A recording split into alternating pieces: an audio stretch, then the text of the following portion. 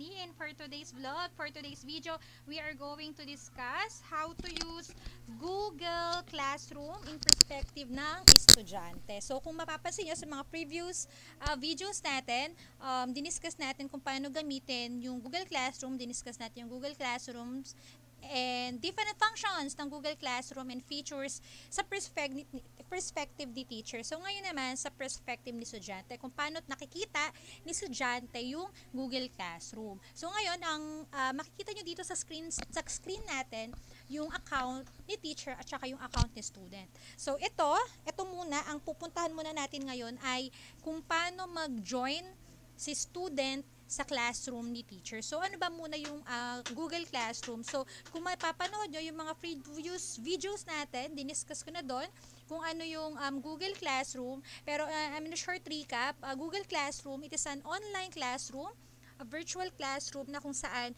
uh, gagamitin siyang medium ni teacher para makapag-communicate kay student.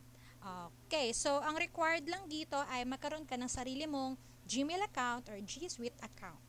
So, ang unang-unang gagawin ni student, so nandito tayo sa Google, sa dashboard, um, search lang natin ay Google Classroom. So, pag na-search nyo na, i-click mo lang tong unang-una, Google Classroom.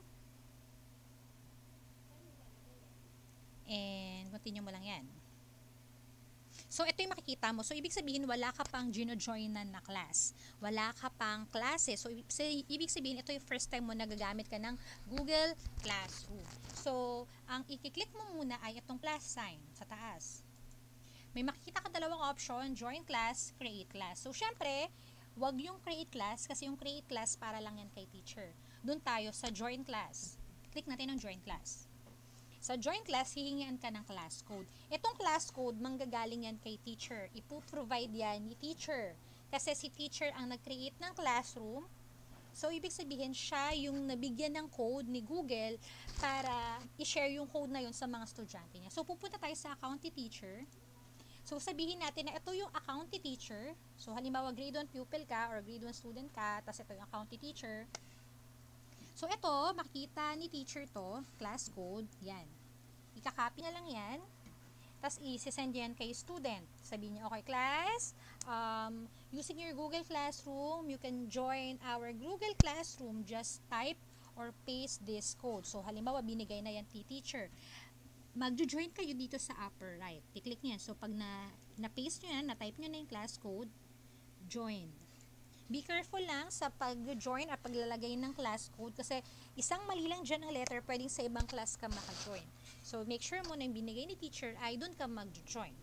So, hintayin lang natin na makapasok tayo and that's it. Nakapasok na tayo sa classroom ni teacher. So, makakapapansin nyo, meron lang tayo ditong tatlong tab. Stream, Classwork, People. Ito lang yung makikita sa account natin, estudyante. Pero pag kay teacher, apat yan stream, classwork, people, grades. Pero kapag kay student, tatlo lang. Stream, classwork, people. So, halimbawa, um, ito na yung account mo. So, makikita mo dito grade 1, section ATIS, tas ito yung header ni teacher. Si teacher lang yung pwedeng mag-edit niyan. So, hindi mo pwedeng lagyan ng picture mo yan or kahit anong gusto mo. Si teacher lang makakapag-edit lang yan. So, kung mapapansin nyo dito, may mga nakapost na kasi um, sa may account ni teacher, malay mo nag-try na siya, gumawa na siya, nag-post na siya. So ito yung makikita mo sa account sa may wall. So halimbawa nag-post si teacher, maligayang kaarawan para sa mga mag-aaral ng grade 1 atis sa buwan ng Agosto. So halimbawa ito yung may mga may birthday. So halimbawa binati yan ni teacher tapos nagpa oh, nagpagawa ng assignment si teacher. Um, ano ang pangarap mong trabaho paglaki. O halimbawa, yan yung pinagawa ni teacher na assignment. So, kailangan mong uh, gumawa ng ng pinapagawa ni teacher. So, ang instruction niya, videohan ang sarili habang nagsasalaysay ng mga dahilan kung ano ang pangarap mong trabaho paglaki at bakit iyon ang profesyon na iyong napili. Halimbawa, yan lang naman yung assignment ni teacher. So, ang instruction niya, videohan ang sarili habang nagsasalaysay, habang nagkukwento. So, syempre, pag halimbawa, um, gagawin mo yan. So, bibidyohan mo yung anak mo or bibidyohan natin yung bata na kinikwento niya na ano yung gusto niyang pangarap or trabaho paglaki niya. So, ito yung mga criteria ni teacher. Mga rubrics niya yan. Siya yung naglagay niyan para may basihan ka na kung ano yung mga dapat mong pag-focusan sa paggawa ng video. Tapos yung uh, file na isa-send mo, i-click mo lang to, add or create. Add mo lang yan, tapos upload ka ng file, since video yan, upload mo lang yon And then, pag na-upload mo, uh, mark as done, and then isend mo na yon sa kanya. Okay? So, balik tayo sa my wall. So, halimbawa naman, um, nagawa mo na yon pagbaba mo, may nakita ka, ito, um, sagutan ang, ang ating first short quiz. So, halimbawa, nagpa-short quiz pala sa teacher. Halimbawa, ito yung link. I-click lang ang link na nasa ba. I-click mo lang yan. So, mapupunta tayo sa ginawang pa-quiz ni teacher. O, ito pala yung pina-quiz ni teacher. So, halimbawa, sagutan natin.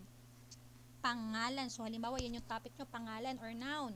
Tukuyin ang mga angkop na pangalan ayon sa hinihingi kada bilang. So, dito, type mo muna pangalan mo. So, depende sa instruction ni teacher.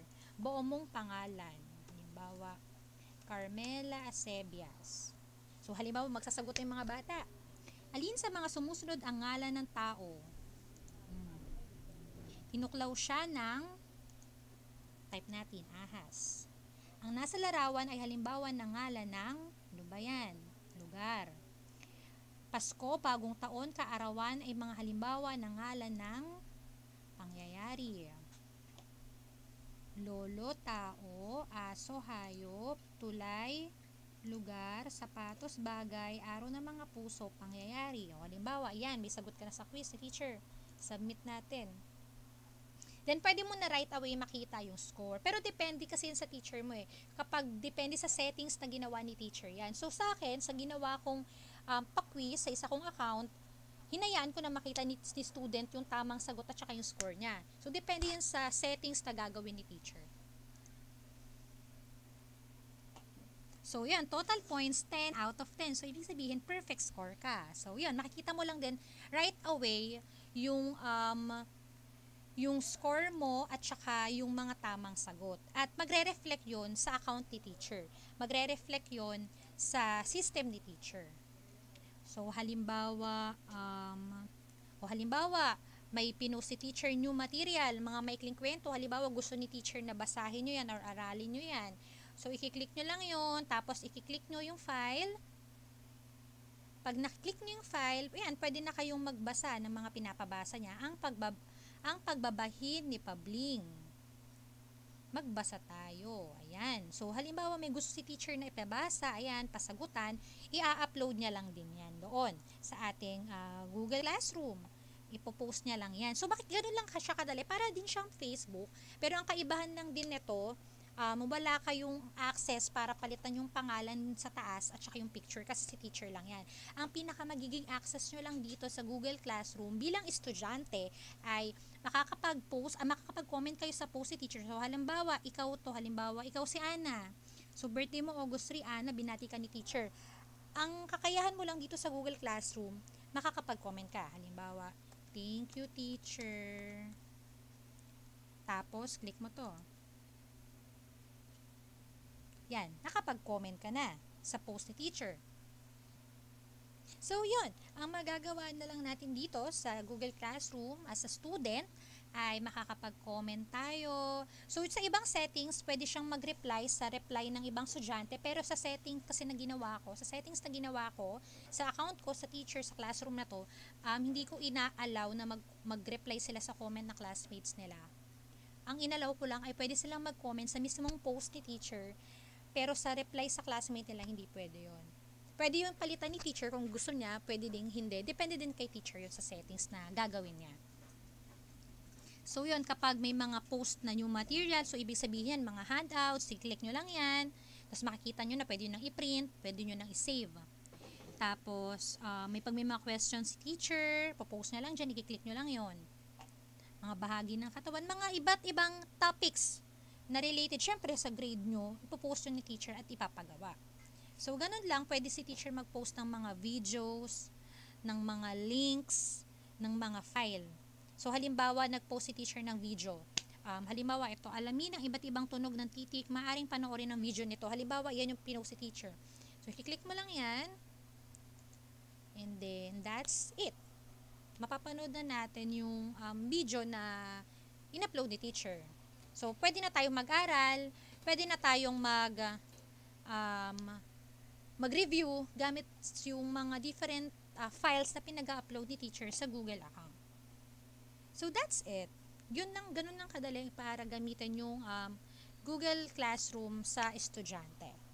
Okay, so um, I hope you learned something from this short uh, tutorial related kung paano mag-join sa Google Classroom as a student. So, dalawa kasi yung pwede kang makapag-join sa Google Classroom as a student. Pwede yung ginawa natin kanina, yung mag-join tayo using class code, or pwede naman na si teacher yung mag invite sa atin gamit yung Gmail account. So, wala namang problema doon. Pareho lang naman ding um, accessible at madali para sa both parts yun. Okay, so thank you very much for um, watching and I hope you learned something from this tutorial. God bless!